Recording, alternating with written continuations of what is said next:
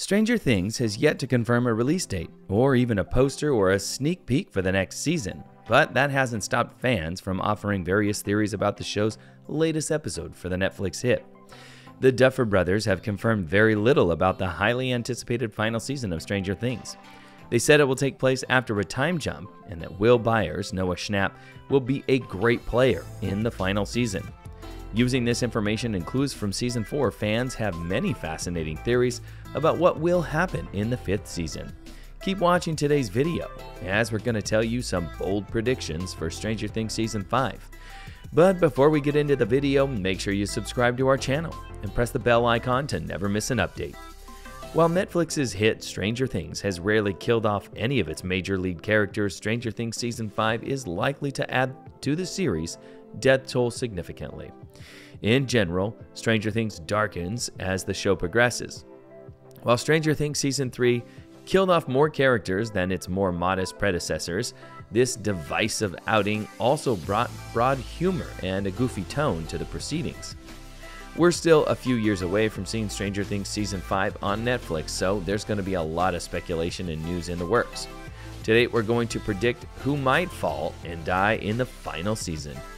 Number 5, Steve. Steve was once destined to die in the first season of Stranger Things before the Duffer brothers had a change of heart. And in later seasons, he became everyone's favorite character and babysitter. As a fan favorite, Steve is always at the top of the list of characters who could die, and he came close in season 4.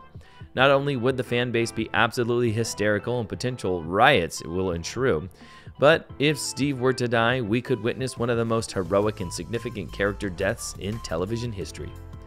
Number 4. Will.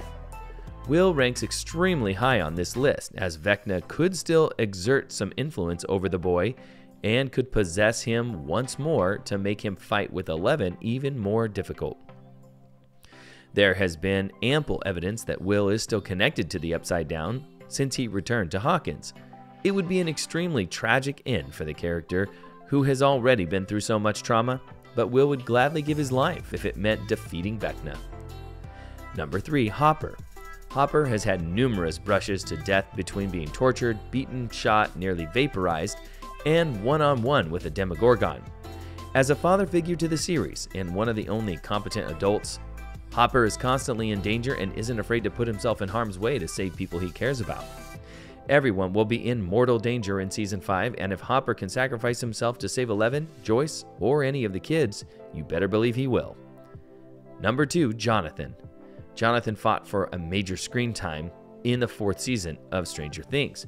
But one of the most emotional moments was when he assured his little brother Will that no matter what, he will always be there for him.